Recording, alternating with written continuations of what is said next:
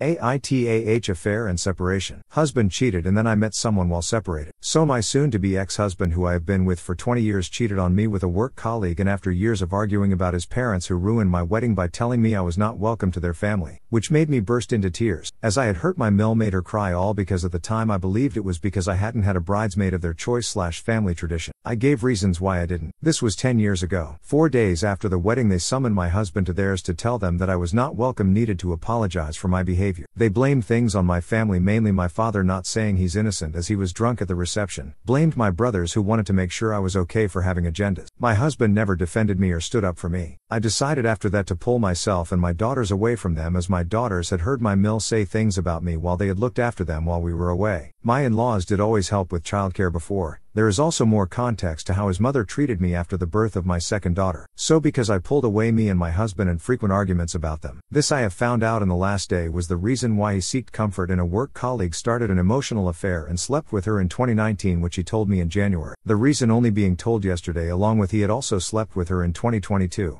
And then after leaving me in October after I told him to go, he started up a relationship with her. I had suspected it for so long and to have it confirmed was a huge wake up call, as he had lied so much when I used to ask him what was going on. So by the end of November, I had started chatting to a guy on a dating site and we got in really well and ended up on a few dates. And then after four weeks, he booked a hotel for us and we slept together and had a really lovely time away. I was happy and felt so much freedom and confidence as it had been knocked knowing his affair happened and felt ugly. About three weeks after we had gone away, we had a few more dates and spoke daily, but the guy was having some issues with BPD and needed space, and he was very honest, and we decided we were better as friends and agreed we had some amazing memory. During this time, my husband had seen pictures of me all happy and smiling, and also the fact my daughter 17 broke down when he had the children telling him O was never there for her when she was there for me, which I kind of disagree as I was always home after dates by 10 p.m. and went away for one night. Yes, I was tired as I was processing a lot and also working 40 hours a week. I thought my relationship with her was really good and she would moan about her dad and the affair just as much as I. Long story short, husband comes back absolutely broken, telling me he loved me, wanted me back, and would do anything, could see the issues I had with his family clearly. I listened and comforted him, more than he ever did for me, said he wanted to be the one to make me happy. He had stalked all media platforms to try and find pictures of me. I caved, took him back.